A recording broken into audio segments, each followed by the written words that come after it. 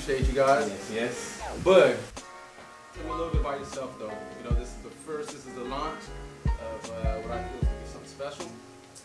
So before we kind of get into a bunch of other shit or whatnot, you know, we've been friends for a cool minute. I'm a huge fan of what you do. Thank you, thank you. You're a fucking genius. Appreciate that. People know a little bit about what you got going on. Um, before I start that, or as I start that, I come bearing gifts. Do your thing, as man, you know. So I'm gonna go ahead and spark this up. Um, we're gonna leave that fan on over there. Actually, let's. No, no, no, we, turn we're gonna cut the fan real quick. Let's cut it. So, a little bit about myself. Um, How you got started? Maybe what intrigued you? Yeah, I'm a photographer, a cinematographer, and uh, I really got started back in 2006. I had a little uh, Fuji FinePix camera. I forgot which exact model it was. I just know it was Fuji FinePix, and uh, I had a blog called Soul Banana Crew. I don't know if you remember that back in the day. remember the clothing brand that you that you got going. Yeah. Yeah, so uh, back in the day, I used to uh, kind of have my daily, you know, blogs in high school, and I would like um, just kind of go around the school, you know, capture things that would happen, um, all type of events, and just like the regular, everyday, day-to-day life of being an average teenager in high school. And being into fashion and being into, you know, culture and all types of different things, art, you know what I mean? You do art, so you got an art hat on. Yeah, Just you know what I'm yeah, let them see what you got. Yeah, but um, just being into all that, um, I kind of just fell into the photography, and over the years I did it as a hobby until I started to do it, you know, as a profession. And uh, once I stepped into that, um, I met a couple of guys. Uh, sorry, we spoke it. I'm gonna take my time here. But uh, I met a couple guys. My partner now, and my other partner, who's you know not here with us right now, but um, we uh, moved more into the cinematography more than the photography, and over time it just kind of built up and built up even more. And here I am today doing both, more focused on the video because I found out that I actually like that more. Mm-hmm. I like the motion. I like telling stories, and it all stemmed from me telling stories on my blog. You know what I mean? I, I did a lot of uh, interviews. I did a lot of uh, reviews of places I would go to. You know, back in the day we would shop. You know, all over Melrose and like down uh, um, on Second Street in, in Long Beach. And uh, right now we're in San Pedro, by the way. So you know, there was a couple of spots over here. It wasn't too many, but you know, it was a couple of things and just that hunt for you know fashion. I was a big shoe head, so we were you know looking into a lot of shoes, and I would record those times, standing in those lines, being on NikeTalk. You meet a lot of different people. I remember early on, sorry to cut you off with the shoes. You were on the uh, on the Bapes heavy. Oh yeah, You kicked it early when that first came out. I- shout out to I, Pharrell. re- I remember that. I remember when it first came out. I was like, "What's this shoe with the at Yeah. the store?" I was like, Yeah, I wasn't understanding the concept at the time until I Yeah. realized what it was becoming and what it was. But yeah, go ahead. But uh, yeah, I mean, you brought that up. That was a big influence for me. Yeah. Is Pharrell, and he was a skateboarder. I was also Right. a skateboarder at the time. You know, I can still skate now. Don't try me. I still skate. But um, at the time, I was really, really into it and heavy into being in the street. This is before I had a car. You know what I mean? My first car, well, I should say van, was a Ford Windstar. So I used to, you know, I was the first one to have a car. So I would take that van. Out of the whole group or crew Yeah, or whatnot. and yeah. I would, we had the sliding door, so we would make videos where you know we open the sliding door, all the skaters come out the back and just like attack the docks or something like that. But yeah, that's that's really what I did back in the day, and, and it, it became more professional over the years. As I got older, I just started to hone in on what are the, the ways to actually make money in doing this, Mhm. and stay in that vein, and still be able to do it as a hobby and keep myself fulfilled and have fun with it. You know. Who is Wally Champ? Look, he's got this big Man. plaque on the wall. Actually, Made by who made that? Actually, big shout out to my boy uh, Renee from LA3D. He's I call him the Shout Green Lantern. I call I call him the Green Lantern because this dude, man, whatever he can think of or whatever I'm thinking of, I sent him over the idea. He understands me. His just like you know yourself, I could explain something to you, and you could already start visualizing what I'm breaking down. So with Renee from LA3D, yeah, you know, it's this, that, whatever. I shoot him over the notes, and because he's a true artist himself, he he uh, you know, it brings everything to life. And so he did make that for me, man. So huge shout out to Renee, man. Appreciate it, brother. Shout out to Yeah, you, man. yeah, thank you, bro. He's a genius, So, man. Yeah, man, and this is just, I mean, he's made uh, all the Hennessy boxes for me, uh, my display case for the Maya Angelou stuff, a bunch of other stuff that we're working on, and so, um, yeah, man, he's a he's a genius. He's dope, and so he's definitely been a, a huge uh, uh, impact in the short time frame that I've met him, you Mhm. know, and, and, and building this relationship that we got going on. So, looking, Renee. So with that, with that, what what in 2019, you know, from where from where uh, from where you first started till now? Because it's been how many years now? Um, that was 2006, so 13 years as of now. Sick. 13 Now- years, not all video. Most of it was photo, I think, for the first six or five years. Then I kind of went into the video side and I, And then I made you win like in oh, I'm guessing right now. What 2019? it might be 2009. Around, I That's when I was started working at Loaded. Right. I was Yeah. gonna say around 09 is kind of was my guess because that's you know I knew of you. I seen you around. You know, sh- uh, shook hands. Yeah. And then once we started, what we started doing, uh, when we came together for our company, that's when I really got. I'm good right now. That's when I really. Uh, tapping out, y'all.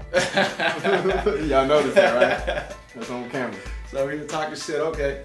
Um, I think that's when I really started getting to know you. If I'm Yeah. not mistaken, right? Once we had came into business um, and we started working together. And from there, one thing I, I've always noticed about you is when we would work on certain projects, I know that that it was never the quantity; it was always the quality.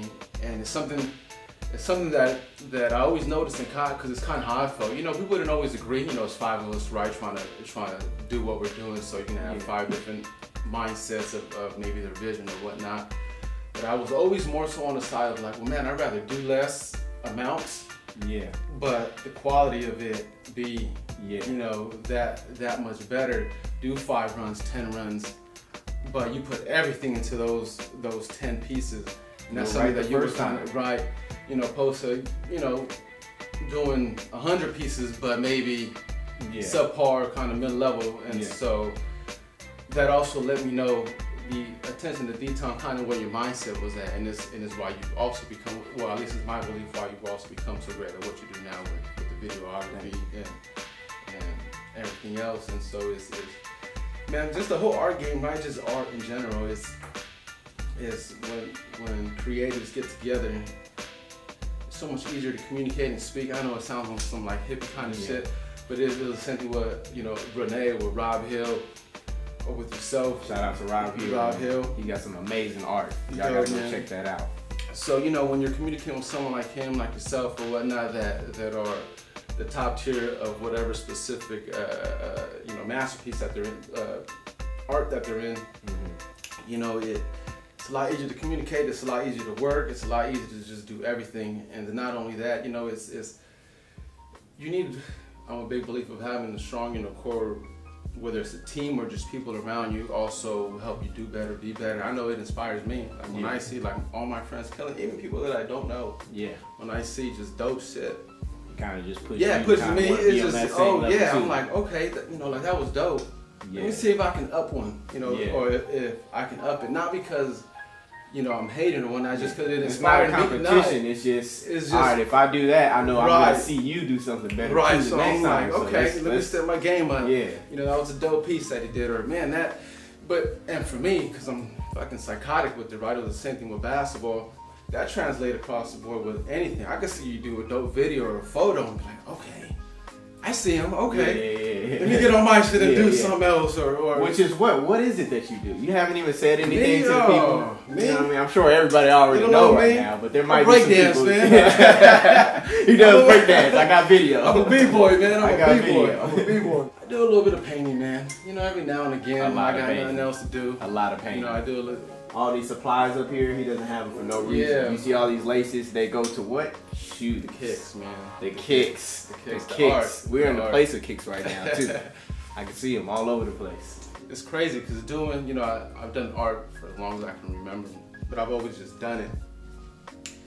And then, you know, I got into uh, graffiti art, and I was doing that heavy. It was one of my real true passions. I was, I was doing it all the time. Always just drawing, drawing, drawing. But out of all the things, like even with art, like putting my art on shoes like the last thing. That's that's the whole kind of ironic thing about it. You know, I never. It, I did it back in the day because see, growing up, you know, off uh, in the hip hop culture with all four elements, with DJing, MCing, you know, the graffiti art and breakdancing, everything went Real hip hop. Real hip hop. right. All of those elements. That's real hip hop.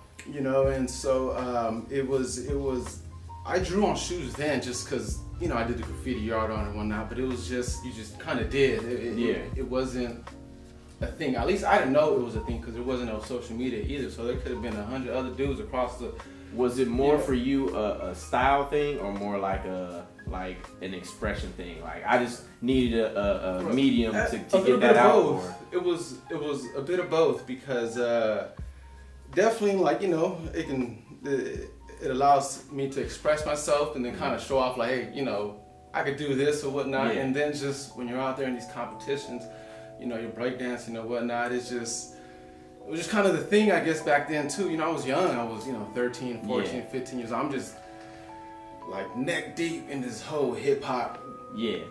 game You culture. Yeah, you know, and so the shoes was there, and if I wasn't breakdancing, I was drawing. So it's just like, Yeah. well, shit, let me just grab this shoe and just, you know, Yeah. That's your whole- canvas. Yeah, just do a whole piece on it. But that's all it was then, you know, until not until like, what year was it? It's like 2000, uh, like 2009, I think. Again, when I had seen um, people restoring shoes on a level that I had Yeah. never seen it, and I was like, oh. Oh yeah, it kind of went to next level. Yeah, there yeah. were people out there doing it in the early 2000s, even the 90s, but Right. 2000s, you know what I mean, when it started to get like, okay, we're now looking at the construction of the shoe. We're taking Right. into consideration, you know, everything that these designers put into it, and we're reinventing that, Right, We're right. reshaping that. And around 2008, 2009, it started to get crazy. I can't remember all the shoes that came out that year, Right. but there were a lot of customs that people were doing that were like, oh yeah, I would actually wear that. Right, the first right, time it right. felt like, you know what I mean? It wasn't Right. more of a personal thing. It was like, I want those shoes. Right. You know, seen it, and uh, I just kind of started dabbling in it, you know, and just kind of. I wasn't thinking much of it. I was still working my regular nine to five then, Yeah. and uh, although yeah, then I was still working and whatnot, and um, but that's kind of when I started seeing, you know, where where it was kind of going or whatnot. But even then, I was still just working my regular job. I wasn't. I wasn't thinking about restoring. But still doing that, you know, on the side. Okay. Yeah, just here and there Yeah. or whatnot. I was honestly around that time too. I was just so heavy into basketball. I was just hooping all Oh, the yeah. time. I was. I get off work.